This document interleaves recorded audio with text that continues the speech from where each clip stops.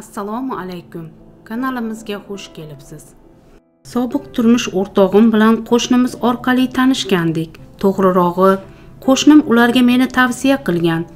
O'z navbatida bizga ham kuyov tomonni maqtashgandi. Uchrashdik bir birimizga ma'qul bo'ldik va to'yimiz o'tdi. To'ydan so'ng bir oy o'tar o'tmas erimga qizlar qo'ng'iroq qilayotganini sezib qoldim.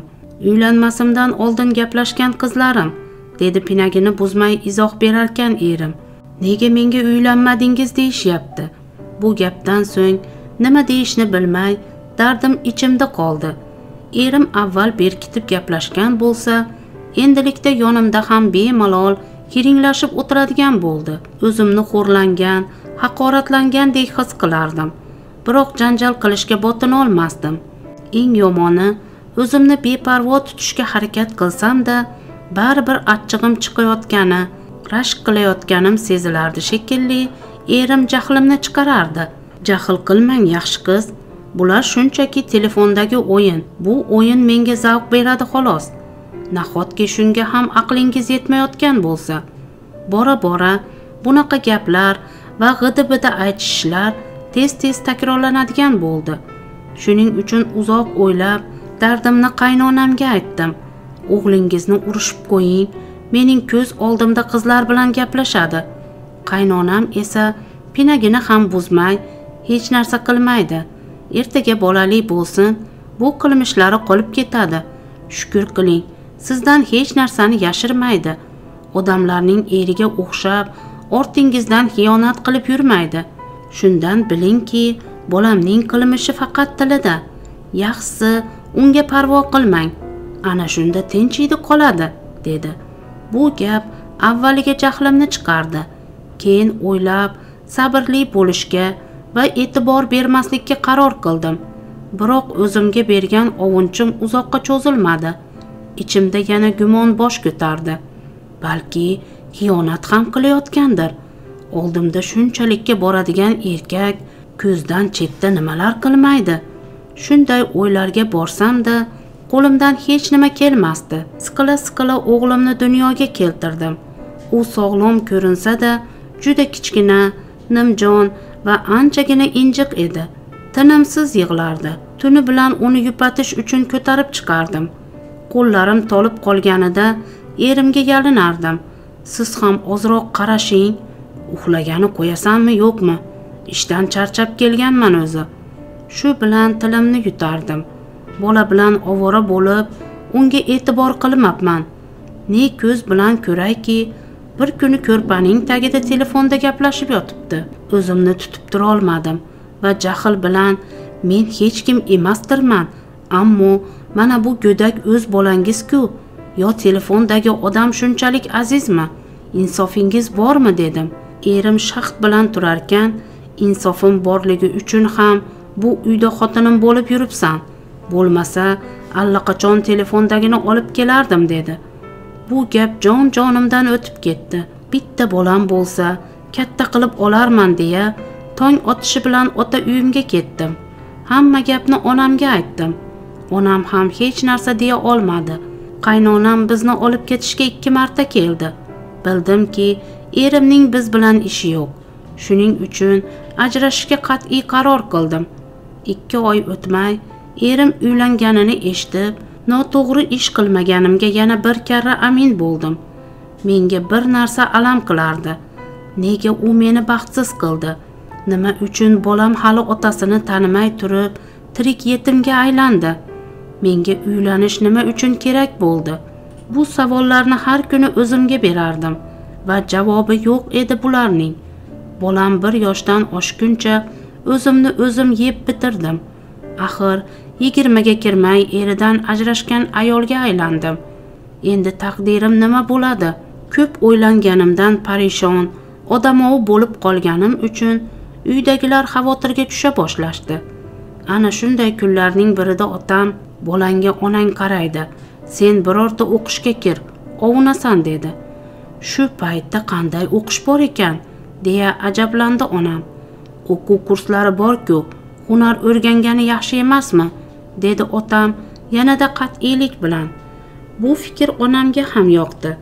Shahar markaziga haftada ikki bor qatnab tikuvchilik va kompyuterdan dars ola boshladim. Kompyuter o'rgatadigan o'qituvchimiz yosh va juda sho'x edi. Birinchi darsdanoq menga laqab qo'ydi.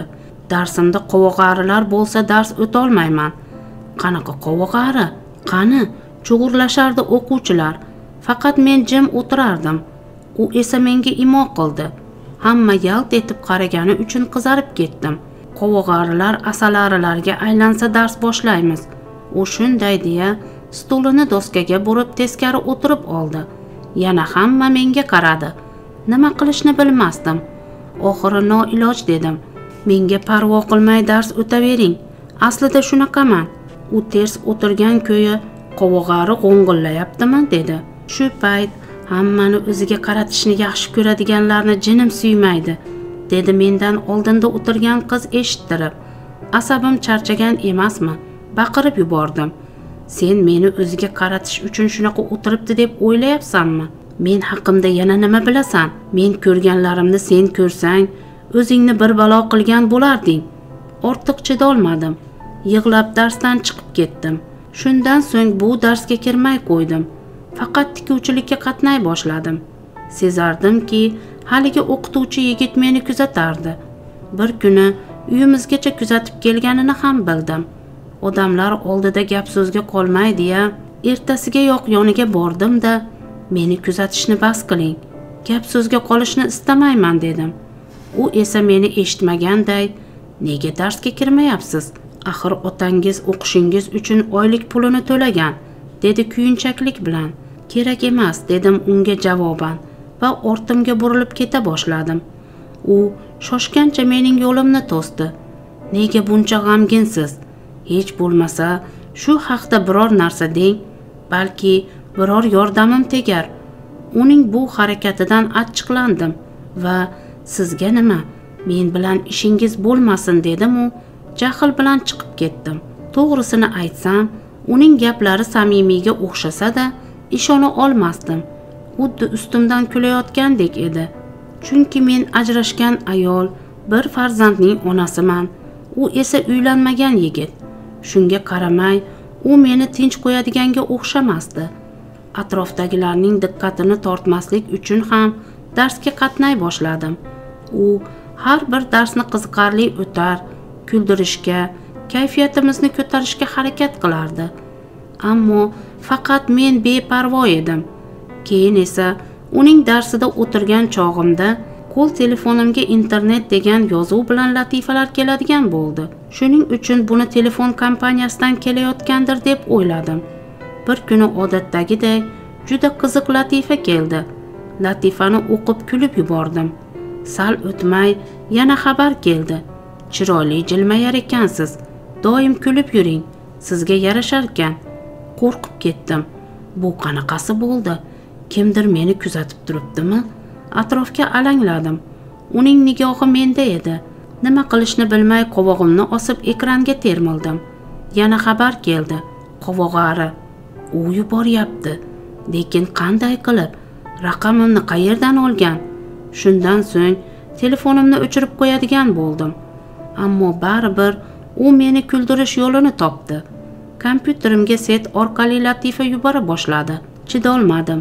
Darsdan so'ng hamma ketsa ham o'tiraverdim. Nihoyat ikkalamiz yolg'iz qolgach meni kechiring ammo qilayotgan ishingiz asabimga tegyapti. Iltimos meni tinch qo'ying dedim. Birovni xursand qilishga urinish asabga tegishini endi eshityapman javob berdi u.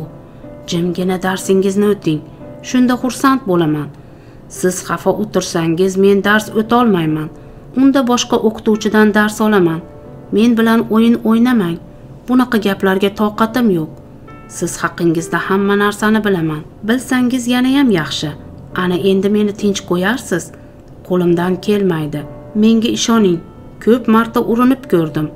Ammo siz mening ongu shuurimni yurak yuragimni egallab oldingiz. Men ortiq chiday olmadim. Va uning gapini kesib siz hali uylanmagan yigitsiz. Men esa yaxshisi gapni shu yerda to'xtataylik. Sizdan iltimos meni malomatga qoldirmang dedim. Ana shu gapimdan keyin u qo'limdan ushlab to'xtatdi va kim aytdi meni uylanmagan deb. Men avval uylanganman. Farzandsizlik tufayli ajrashganmiz. Sizni sevib qolganim barobarida o'g'lingizga ham mehrim tushdi. Shuning uchun sizga uylanmoqchiman dedi. Uning bu gaplaridan keyin hech narsa deya olmadim. Ayni vaqtda o'qituvchimga turmushga chiqqanman. Xudoyimning marhamati bilan yana homiladorman. Bundan erimning boshi osmonda ammo hayotim davomida bir narsaga iqror bo'ldim. Xor qilgan xor bo'larkan. Eshitishimcha mendan keyin sobiq erim uylangan bo'lsa-da farzandli bo'la olmabdi. Uning ustiga yaqinda o'sha suygan xotini boshqa bilan xorijga ketib qolibdi. Ayni damda u xotinining xiyonatidan bosh ko'tara olmay uyga qamalib olganmish.